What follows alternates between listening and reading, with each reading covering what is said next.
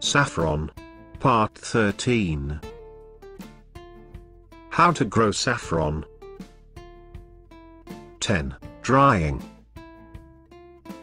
After the stripping comes immediately the drying, also known as toasting, which is done daily until the last threads are dried, because they are exceedingly humid. The harvested stigmas are dehydrated by toasting at temperature not higher than 60 degrees Celsius. Utmost care must be taken that the threads are not overdone, hence, the toaster, the person assigned to do the task, has a very delicate role in the production of quality saffron spice. After the toasting, the threads will have reduced their size and weight extremely, down to 80% of the original. 5 kilos of fresh stigmas yields a mere kilo of dried, vivid crimson threads.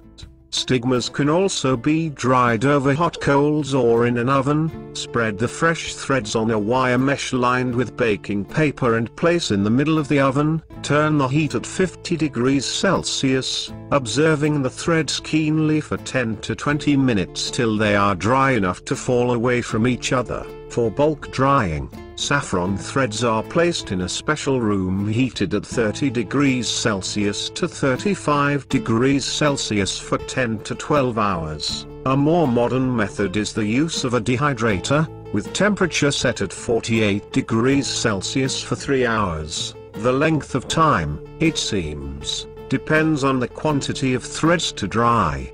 But the important thing is they are not over-dried because that will reduce the quality and price of the saffron threads.